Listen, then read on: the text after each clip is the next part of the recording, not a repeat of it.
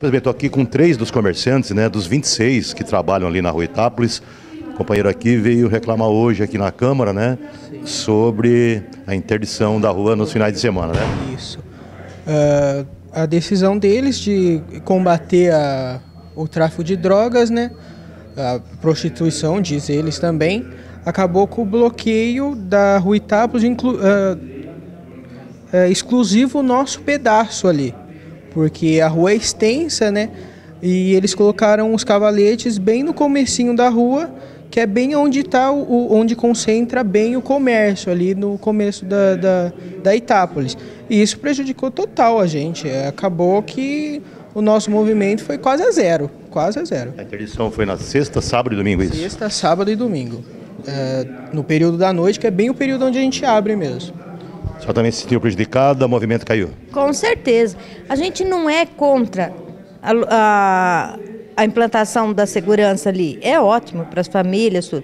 Só que a logística deles está errado.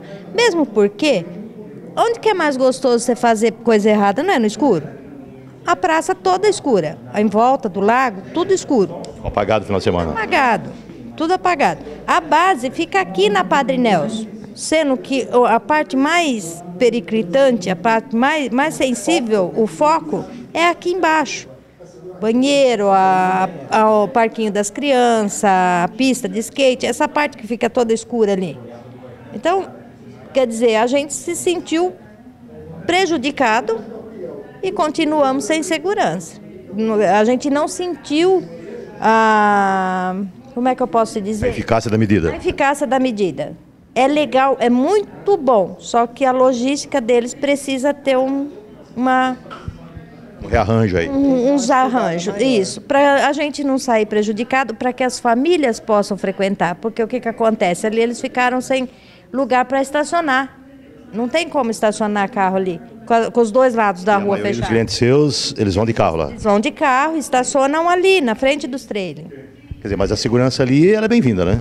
Sim, a gente não é contra de jeito nenhum a, ao policiamento, né? Só que precisa dar uma atenção no lugar certo, porque onde eles colocaram, ainda que uma crítica, né, no lugar errado, em cima da calçada, a base deles, obstruindo a calçada, sendo que o foco maior é mesmo perto do banheiro. Uh, tanto que uh, ontem mesmo, no domingo, assim que foi tirado o bloqueio, não deu 10 minutos, já estava todo mundo de volta, os usuários, gente vendendo e não dá eficácia nenhuma, porque eles não colocaram no lugar certo. Outro comerciante aqui também tem a mesma reclamação, quero crer, né? Sim, a mesma reclamação. Não sei o que a gente vai fazer se a rua continuar interditada. Não tem como.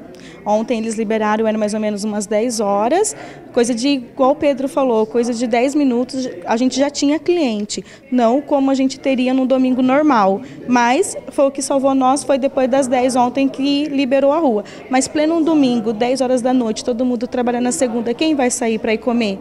Ninguém. Seu movimento também caiu bastante? Muito, foi a zero. Você vende o que lá? Tudo, lanche, porção, batata e mais um pouquinho. Você também? Compromisso é? também. A gente tem compromisso, tem funcionário, tem água, tem a luz, tem o imposto que a gente paga, né? É, a gente, que a gente paga alvará, a gente paga tudo direitinho. E se a gente não faturar, como é que a gente vai pagar os compromissos da gente? A gente se mantém com esses trailer, com esse trailer. Como que a gente vai pagar os nossos encargos? É a principal renda de vocês? É, a principal renda. Porque, na verdade, é, a gente não está pensando só em nós, mas assim, os nossos funcionários que a gente contratou. Ou tem nem como a gente mandar embora, dispensar e fazer acerto, porque a gente não tem dinheiro para isso. Como que ficam eles também, além de nós? É por isso que vocês vieram na Câmara hoje aqui para tentar sensibilizar os vereadores para que seja né, renegociada essa logística, é isso? A gente claro. A gente, gente, quer sim esse policiamento é. lá, é muito legal.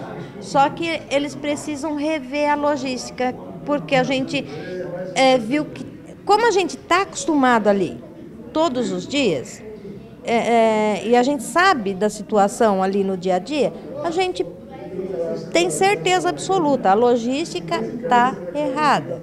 Conversar agora com o vereador Alexandre Sink sobre aquele plano de segurança que foi elaborado a pedido do Ministério Público, envolvendo Guarda Municipal, Polícia Militar, que acabou descontentando né, parte dos comerciantes, ou a totalidade ali da Rua Itápolis. Né? Esteves, é, é isso mesmo. Nós não somos contra o plano de segurança proposto pelo Ministério Público em parceria com a Polícia Militar, com a Guarda Municipal, com o Conselho Tutelar.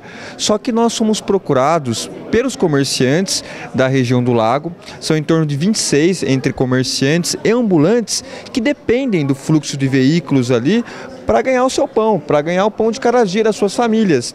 Então, nesse final de semana, na sexta, sábado e domingo, houve um bloqueio na rua Itápolis, sem acesso de veículos, o que dificultou o acesso das pessoas até os comércios. Então, são comerciantes que dependem, comerciantes que costumavam vender 300, 500 reais por final de semana, que esse final de semana venderam 30, 40 reais. Então, são empregos. E num, num momento de recessão como esse, no momento de crise econômica, ter 26 famílias com seu ganha-pão prejudicado é muito difícil, é muito ruim. Então, por isso que eu trouxe aqui o debate para o Poder Legislativo, através de uma indicação envolvendo os demais vereadores, nós vamos tentar nos próximos dias uma audiência pública com uh, o Ministério Público, com o comando da Polícia Militar, com a Guarda Municipal, para tentar resolver.